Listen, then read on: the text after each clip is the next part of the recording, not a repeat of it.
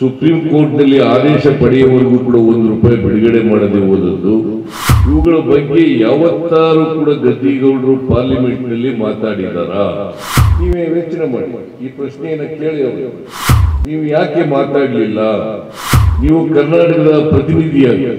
ಕರ್ನಾಟಕಕ್ಕೆ ಆಗಿರ್ತಕ್ಕಂಥ ಅನ್ಯಾಯವನ್ನು ಪ್ರಶ್ನೆ ಮಾಡಲಿಕ್ಕೆ ಸಾಧ್ಯ ಆಗದೆ ಹೋದರೆ. ನೀವು ಲೋಕಸಭಾ ಸದಸ್ಯರಾಗಿ ಇರ್ಲಿಕ್ಕೆ ಲಾಯಕ, ಅನ್ಲಾಯಕ ಅಂತ ಹೇಳಿ ಪ್ರಶ್ನೆಯನ್ನ ಕೇಳಿದ್ರು. ಕೇಳ್ತೀರಾ? ಯಾವತ್ತಾರೋ ಯಾವತ್ತಾರು ಬಾಯಿ ಬಿಟ್ಟಿದಾರ? ಇವಾಗ ಸಂಯುಕ್ತ ಪಾಟೀಲ್ ಹೇಳಿದ್ರು, ಕರ್ನಾಟಕದಿಂದ ಇಪ್ಪತ್ತ ಮೂರು, ಇಪ್ಪತ್ನಾಲ್ಕರಲ್ಲಿ ನಾಲ್ಕು ಲಕ್ಷದ ಮೂವತ್ತು ಸಾವಿರ ರೂಪಾಯಿ ತೆರಿಗೆ ವಸೂಲಾಗ್ತದೆ. ಆ ನಾಲ್ಕು ಲಕ್ಷದ ಮೂವತ್ತು ಸಾವಿರ ಕೋಟಿ. ನಾಲ್ಕು ಲಕ್ಷದ ಮೂವತ್ತು ಸಾವಿರ ಕೋಟಿ. ಅದರಲ್ಲಿ ನಮಗೆ ನಮ್ಮ ತೆರಿಗೆ ಪಾಲು ಮತ್ತು ಕೇಂದ್ರ ಸರ್ಕಾರದಿಂದ ಬರತಕ್ಕಂಥ ಅನುದಾನ ಎರಡೂ ಸೇರಿ ಬರ್ತಕ್ಕಂಥದ್ದು ಐವತ್ತೈದು ಸಾವಿರ ಕೋಟಿ. ಇನ್ನು ಉಳಿದೋದೆಲ್ಲ ಕೇಂದ್ರ ಸರ್ಕಾರನೇ ಇಟ್ಕೊತದೆ ಸುಮಾರು ಒಂದು ಲಕ್ಷದ ಎಂಬತ್ತೇಳು ಸಾವಿರ ಕೋಟಿ ರೂಪಾಯಿ ಹದಿನೈದನೇ ಹಣಕಾಸಿನಲ್ಲಿ ಬರಬೇಕಾಗಿದ್ದಂಥ ಹಣ ಹದಿನೈದನೇ ಹಣಕಾಸಿನಲ್ಲಿ ಬರದೇ ಹೋದದ್ದು ಒಂದು ಲಕ್ಷದ ಎಂಬತ್ತೇಳು ಸಾವಿರ ಕೋಟಿ. ಇದು ಗೊತ್ತ ಓಲಿ ಅವರಿಗೆ?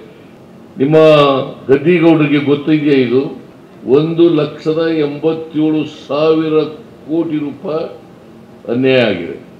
ಗದ್ದಿಗೌಡ್ರೆ ಯಾವತ್ತಾರು ಪ್ರಶ್ನೆ ಕೇಳಿದ್ದೀರೇನ್ರಿ ಇದನ್ನ ಅಸೆಂಬ್ಲಿನಲ್ಲಿ, ಪಾರ್ಲಿಮೆಂಟ್ನಲ್ಲಿ? ಮತ್ತೆ ನಿಮ್ಮ ಧ್ವನಿಯಾಗಿ ಕರ್ನಾಟಕದ ಪ್ರತಿನಿಧಿಯಾಗಿ ಲೋಕಸಭೆಯಲ್ಲಿ ಇರಬೇಕಲ್ಲ? ನೀವು ಕಳೆದ ಲೋಕಸಭಾ ಚುನಾವಣೆಯಲ್ಲಿ ಇಪ್ಪತ್ತೈದು ಜನ ಗೆದ್ರು ಬಿಜೆಪಿಯಿಂದ. ಇಪ್ಪತ್ತೈದು ಜನ. ಸುಮಲತಾ ಒಬ್ಬರು ಇಂಡಿಪೆಂಡೆಂಟ್ ಆಗಿ ಒಬ್ಬರು ಕಾಂಗ್ರೆಸ್ ಕಾಂಗ್ರೆಸ್ನವ್ರು ಗೆದ್ದರು ಇನ್ನೊಬ್ಬರು ಬಿ ಜೆ ಡಿ ಎಸ್ನವ್ರು ಗೆದ್ದರು ಇನ್ನು ಇಪ್ಪತ್ತೈದು ಜನ ಲೋಕಸಭಾ ಸದಸ್ಯರು ಬಿಜೆಪಿಯಿಂದ ಗೆದ್ದು ಯಾರಾದರೂ ಒಬ್ಬರು ಬಾಯಿ ಬಿಟ್ರ ನೀವು ಯೋಚನೆ ಮಾಡಿ.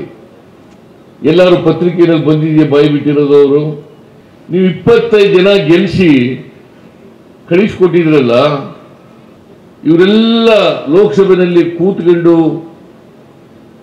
ಒಂದು ದಿನ ಬಾಯಿ ಬಿಡಲಿಲ್ಲ ಅಂತಂದರೆ ಕರ್ನಾಟಕಕ್ಕೆ ದೊಡ್ಡ ಅನ್ಯಾಯ ಆಯ್ತಲ್ಲ? ಈ ಅನ್ಯಾಯ ಮುಂದುವರಿಬೇಕಾ? ಈ ಅನ್ಯಾಯ ಮುಂದುವರಿಬಾರದು!